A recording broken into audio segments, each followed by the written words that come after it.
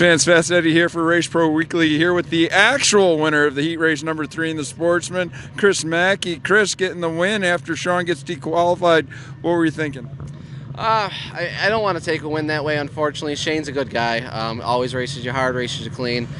But it is what it is. We all got to play by the same rules. So, I mean, you know, it's kind of cool to, to end up standing on top of the podium at the end of the night, no matter what the circumstance is. And, uh, just thankful that for everyone that helps us get here and it makes it possible for us to even be in a position to where when something like that happens that we can be the guy on top. What did you learn that you can use for the 75 lapper on Sunday?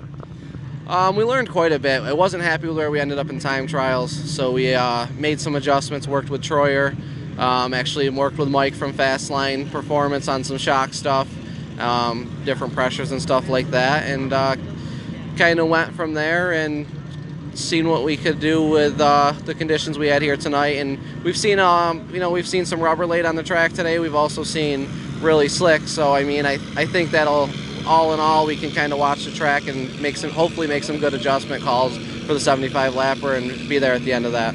There you go, Rage fans. Chris Mackey looking to put it in victory lane here on Sunday in the Chevy 75.